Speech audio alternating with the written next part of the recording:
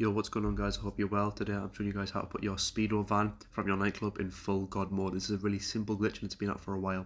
The first thing you guys want to do is make sure you own a speedo van. Make sure it is fully upgraded because players can still shoot you through the windows if they are not. Now you want to access the workshop and hover over, hover over where it says exit the garage. Now as soon as you click exit the garage you want to spam your home button. Honestly you want to keep using it, keep spamming it as fast as you can until you see that your car your car's outside. As soon as it's outside, you can stop spamming and come back to the game. Now exit on foot, and from here it's as simple as this. To test if it's in God mode, shoot an RPG, and it should blow up within one missile.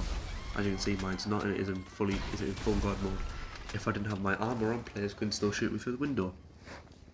So technically, you're in God mode with this glitch. It's really simple, and it's still working after the patch 1.61 and after the San Andreas Mercenaries update.